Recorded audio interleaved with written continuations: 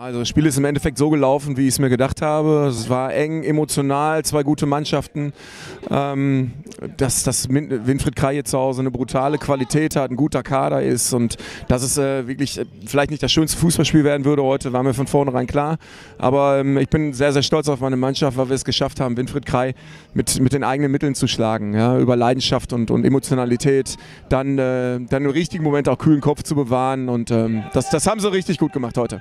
Am besten äh, indem wir äh, uns ab Dienstag äh, ganz konzentriert auf das nächste Spiel gegen Katernberg vorbereiten.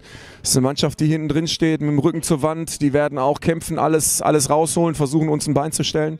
Und darum ist es wichtig, dass wir uns darauf vorbereiten und jetzt nicht meinen, nur weil wir ein Spitzenspiel gewonnen haben, dass das alles Selbstläufer sind. Wir müssen uns jeden Sieg hart erarbeiten. Und da werden wir Dienstag dann äh, wieder dran anknüpfen und drei gute Einheiten machen und versuchen, nächste Woche Sonntag wieder genauso viel Leidenschaft an den Tag zu legen und, und das nächste Fußballspiel zu gewinnen. So geht's weiter.